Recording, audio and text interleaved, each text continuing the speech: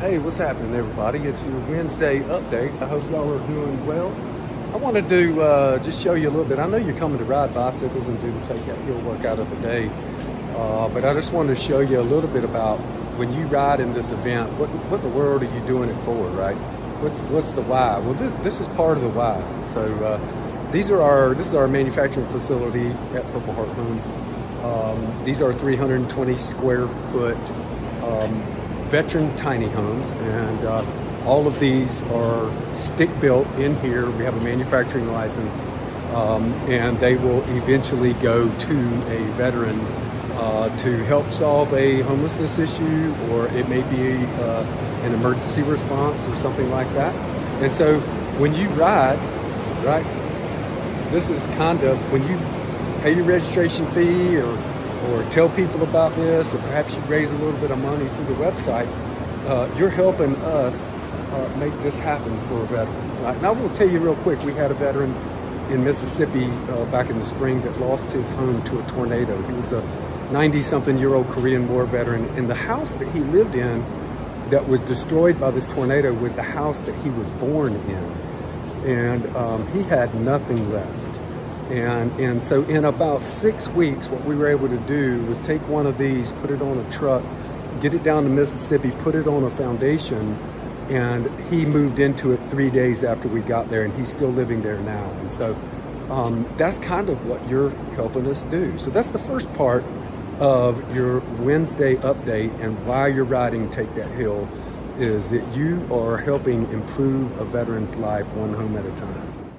Hey, the second part of the Wednesday update is that when you help Purple Heart Homes, you are helping an organization that was rated, and we just found this out in the last couple weeks, is one of the nine best charities in America for home repair. Um, it lumped us in the same category with Habitat for Humanity and the Gary Sinise Foundation and you know, rebuilding together. And so we're really excited about that. So that's another really positive thing. When you come out and ride with us, or you come out and do the workout of the day, and you help contribute fuel to this mission, you're helping an organization that has been proven over the last 15 years that's making a difference uh, in America for our veterans and those that have served. So thank you.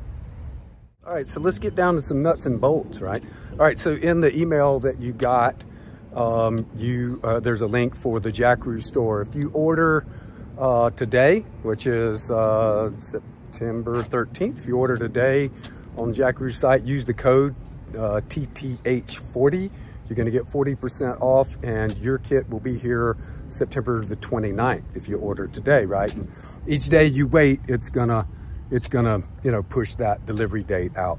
Um, and so they're really, they're unbelievably comfortable kits. You're gonna love them. The purple camo this year, and uh, here's the picture, right? Um, the second thing is, is that the routes are on the event page. I put that in the email as well. We have both the Strava route and the Ride with GPS routes for all three of the in real life events. Um, and you can download those to your device. The course will be very clearly marked, very clearly marked with lots of signage and also too with painted arrows on the road, right? So uh, more to follow about that. Uh, and then finally for this week, um, man, we need your help. Uh, need your help getting more people registered. What are we trying to do here? We're trying to build an event that people want to come back to every year. Um, our primary goal is not necessarily funds raised. Our primary goal is that we create an event that provides exposure to uh, for veterans, that honors veterans. We have veterans coming from the Soldier Recovery Unit at Fort Bragg. There's adaptive athletes coming. Uh, we're going to have a Huey helicopter on site. It sounds like that's about a 90% solution on that.